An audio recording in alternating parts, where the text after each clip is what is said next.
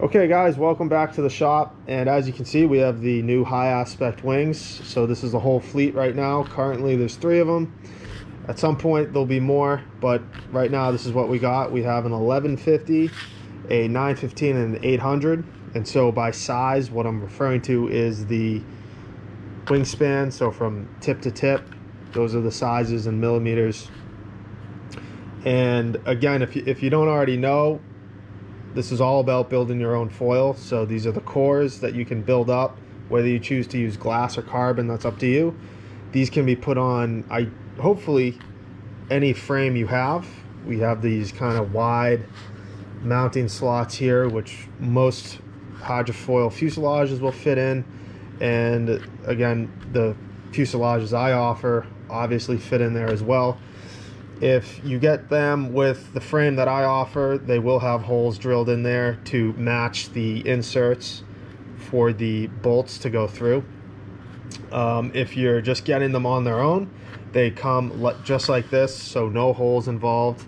So depending on what fuselage you have, you can drill out holes accordingly so that you can bolt it to your fuselage. And this little hole right here that you see is just for machining purposes really i mean you can fill it in if you want but i mean it really doesn't doesn't have an effect at all.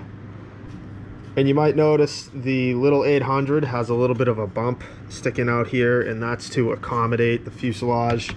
Uh, the chord here gets pretty skinny so we need a little bit of a tab here just to get just so you have room for those bolts to come through. Otherwise it was too short without it.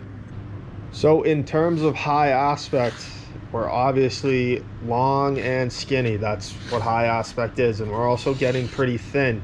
You can see these foil sections are quite, quite thin, especially down at the tips. They get really thin and the trailing edge is razor thin. And that's why the bottom of all these wings come with a skin coat of fiberglass. It's just one layer of four ounce glass. And once the bottom side is milled, um, this skin coat is applied and then we're able to flip it over mount it onto our jig and mill the top side.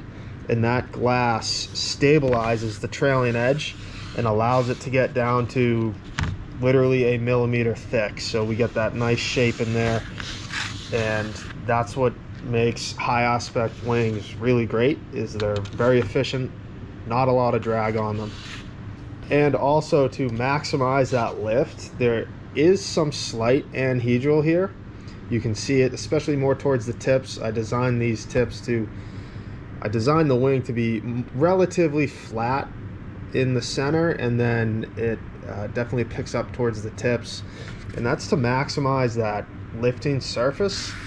Uh, I know a while back the trend was a lot of anhedral and yes, that has some benefits as far as stability goes, but it also does limit the actual surface area, uh, giving you some lift. And so flatter is the trend these days, so that's incorporated there. And to complement the new high aspect wings, we have some relatively high aspect stabilizers. Again, nice and thin, nice and skinny. And these have some very slight dihedral in them. So the wingtips are curving upwards. It's very slight. You can you can notice it once it's built and mounted onto a fuselage. But uh, yeah, so we have some anhedral on the wings, some dihedral on the stabilizers. I've seen a combination of both over the whole years. It's really um, kind of changes year to year, uh, brand to brand.